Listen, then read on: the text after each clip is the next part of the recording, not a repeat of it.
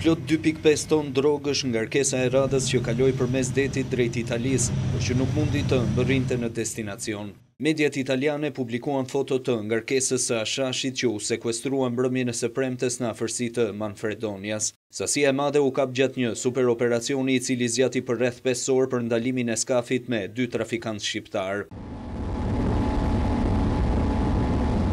Në aksion u angazhuan tre shtete, Itali, Shqipëri dhe Mali i Zi, ndërsa u mbështetën dhe nga avioni i Frontex. Fillimisht skafi u konstatua nga rojet bregdetare të Malit të Zi dhe pas alarmit ndjekja vijoi në ujërat e detit Adriatik.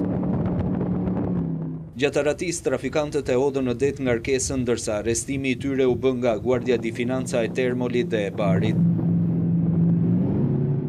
Lënda narkotike u grumbullua përgjatë gjithë natës dhe iu dorëzua autoriteteve italiane. Nga të dhënat e Policisë së vendit fqinj mësohet se sasia e madhe e drogës e cila do të vinte në brigjet italiane u zbulua pas një serie përgjimesh të bëra një muaj më parë. Në njëmbëdhjetë janar i riu nga Vlora, Besmir Ameti së bashku me të arrestuarin tjetër italian Domenico Pascariello tentuan të çojnë në brigjet e Brindizit një pikë nëntë ton hashash.